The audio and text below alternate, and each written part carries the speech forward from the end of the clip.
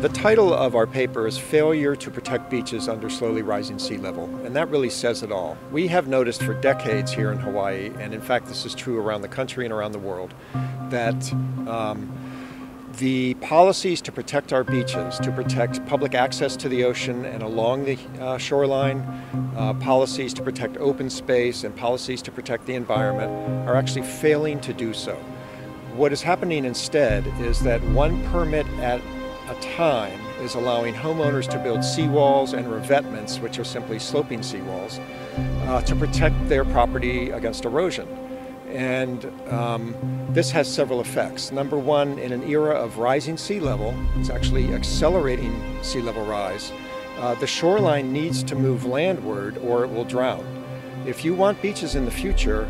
uh, you are going to have to allow the beach to migrate landward, which means that our homes are now in the wrong place, our roads are now in the wrong place, and uh, we need to figure out an exit strategy, a way to get out of the way,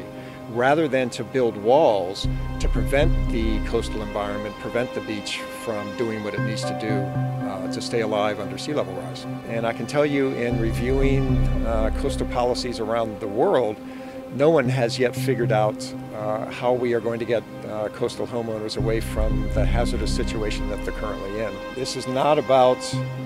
being hard on people or hard on agencies. This is about being hard on the problem. And I think if all of our coastal zone management network, that is the feds, the state, and the county, uh, realize this is an issue and uh, are willing to change their procedures and perhaps even change their policies,